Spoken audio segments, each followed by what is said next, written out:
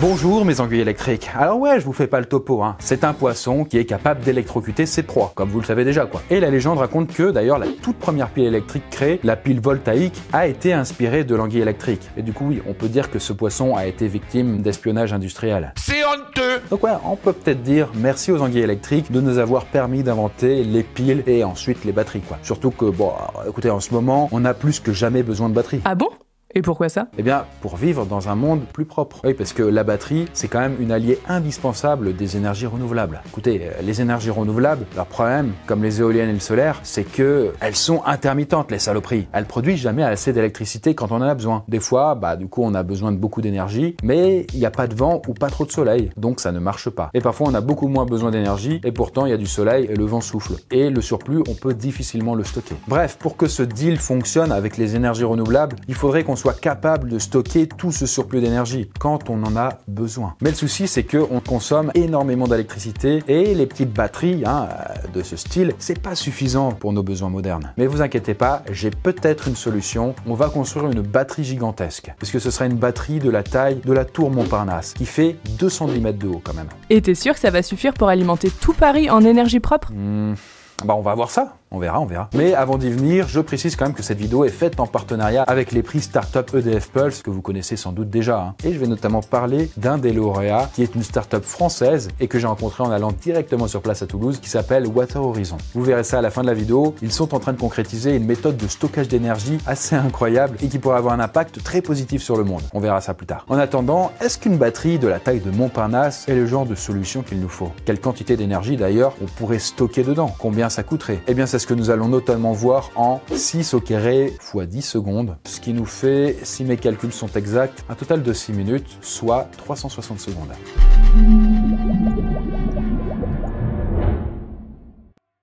Eh bien c'est parti pour la construction. Comme on l'a dit tout à l'heure, la première pile qui a été inventée, c'est la pile voltaïque et ça s'est passé en 1800. Bon alors en vrai c'est pas tout à fait une batterie parce que euh, c'est pas rechargeable, mais pour voir les progrès qu'on a fait depuis deux siècles, je vous propose de voir l'énergie que contiendrait une pile euh, de ce type, mais de la taille de la tour Montparnasse, avec ses 210 mètres de haut. Okay, let's go.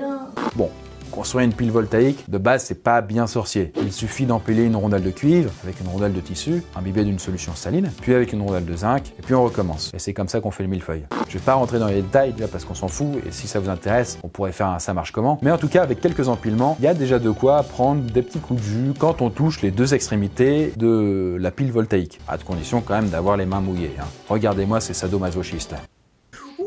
Pas mal. Alors maintenant, quelle puissance cette pile assez euh, archaïque de 210 mètres de haut peut délivrer? Eh bien, d'après un calcul assez approximatif, il y aurait de quoi alimenter 1 à 2 ordinateurs maximum, soit dans les 500 watts. Bon, c'est pas énorme, et en plus, bah, ça ne durerait que très peu de temps, car très rapidement, une pile voltaïque arrête de fonctionner vu que bah, le liquide salé s'échappe des rondelles de tissu et on se retrouve à sec, dans tous les sens du terme. On peut dire qu'il y a plus de jus?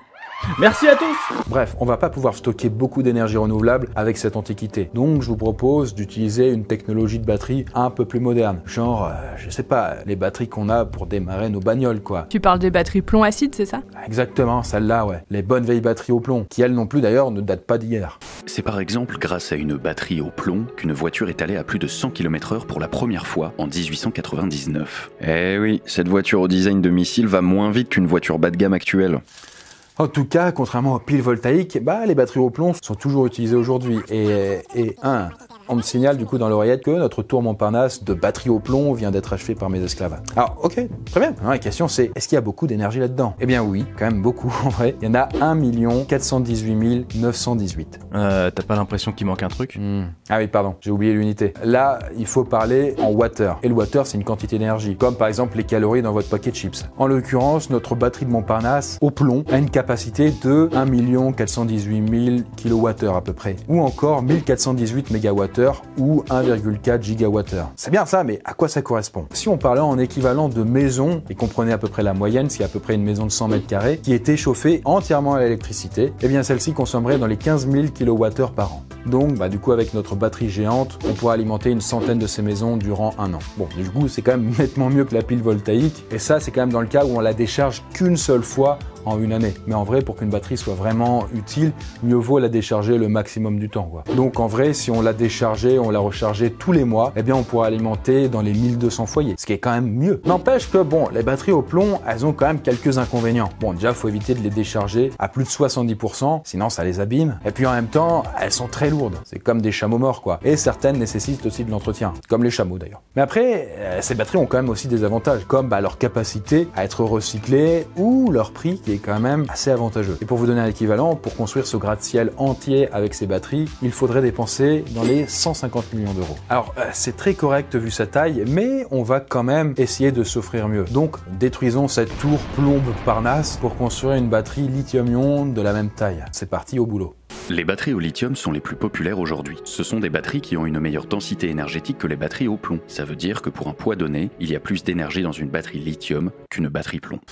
Du coup, combien de maisons bah, cette nouvelle énorme batterie lithium va pouvoir alimenter pendant un an? Eh bien la réponse est un peu plus de 500. Mais en vrai ça c'est si on l'a déchargé ou on l'a rechargé tous les ans. Parce que si on le fait tous les mois, forcément ce serait 12 fois plus. Donc on pourra alimenter plutôt tous les mois 6000 foyers. Et en attendant, ce type de batterie contient à peu près 5 fois plus d'énergie que la batterie au plomb. Alors qu'elles font la même taille. Mais en même temps, cette performance a un prix. Et ce prix, c'est 2 milliards d'euros. Ça dépasse 5 chiffres. Donc ça calme quand même. Mais bon, une seule tour Montparnasse, évidemment, vous dites, c'est pas assez. On peut pas alimenter la France entière avec ça. Parce que du coup, en France, il existe 30 millions de foyers. Et pour ça, il faudrait construire beaucoup, beaucoup plus de tours. Ah ouais, laisse tomber, ça va coûter trop cher là. Je te le fais pas dire. Mais j'ai peut-être une solution qui serait d'utiliser cette batterie.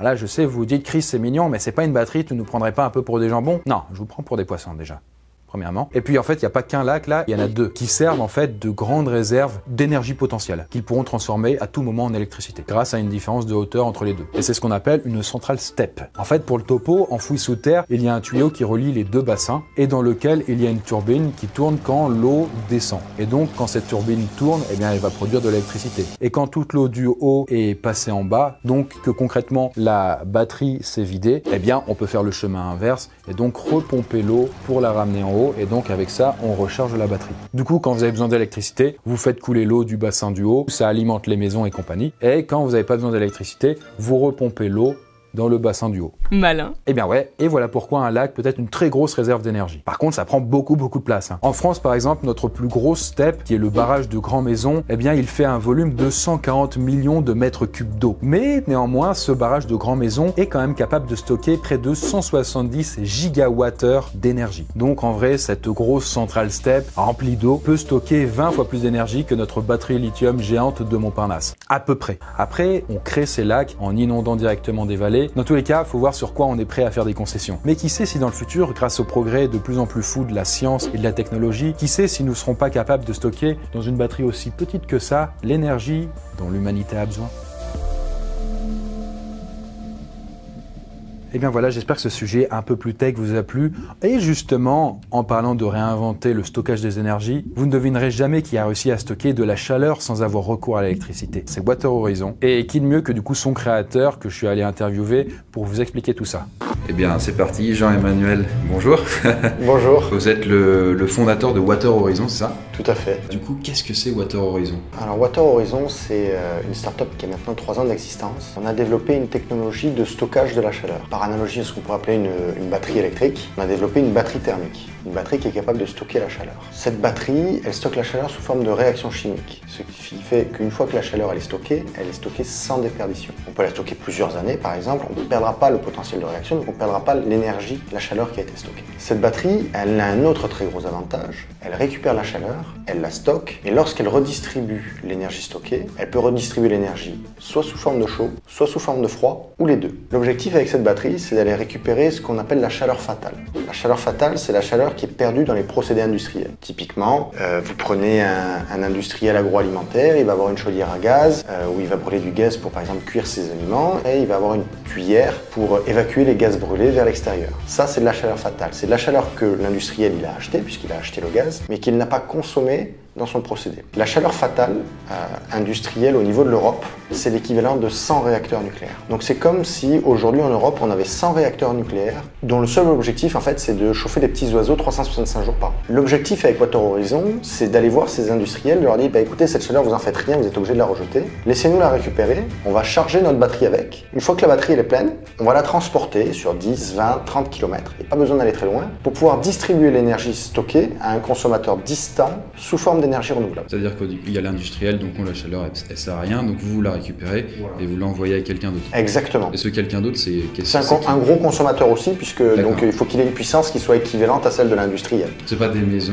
ou des Voilà, ce ne sera, ce sera jamais des particuliers. Par contre, euh, ça pourrait être des particuliers à travers ce qu'on appelle un réseau de chaleur urbain. C'est euh, des énormes tuyaux de chaude qui passent à l'échelle d'un quartier, et derrière, l'eau chaude est transmise à tout un quartier pour l'eau chaude sanitaire et pour le chauffage. Nous, on pourrait être ce moyen de production de chaleur à l'échelle d'un quartier, où là, en fait, on aura un endroit de, de distribution de cette énergie, de très grosse puissance, et après, chaque particulier consommera moins d'énergie. Merci beaucoup alors. Ben, merci à vous. Merci encore à eux pour leur temps. N'hésitez pas à suivre leurs avancées et les progrès qui sont faits dans ce domaine. Et sur ce, nous, la Poiscaille, on se retrouve dans une autre vidéo.